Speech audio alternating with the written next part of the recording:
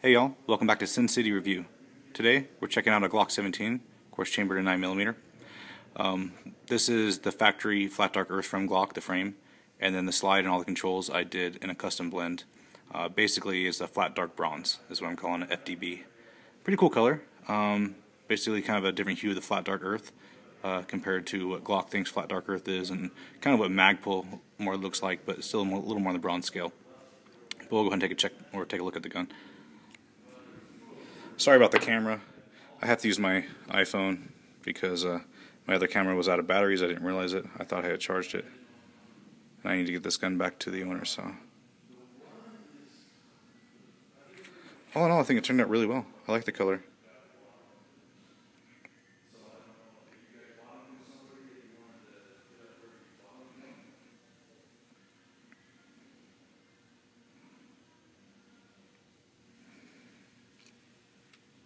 Has a nice almost greenish, grayish, I don't even know how you say it, just a different sort of hue. It is a flat dark earth.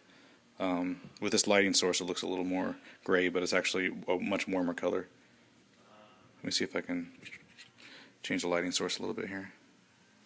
There, that's a little bit better.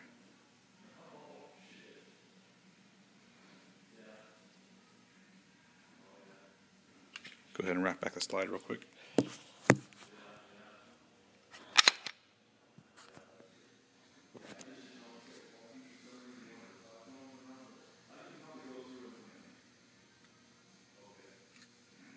But with all the controls done, I think it looks really awesome. Just kind of ties everything together. Gives you something different than the classic black. Still very much a flat dark earth offering, just a little more custom.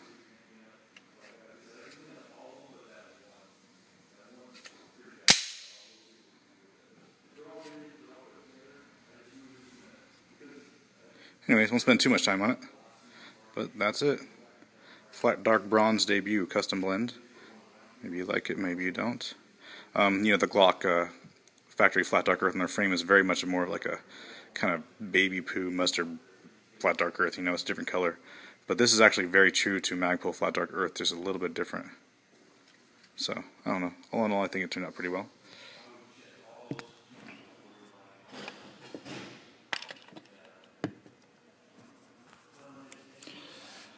But as always, any questions, comments, concerns, leave them, and I will answer accordingly. Until next time.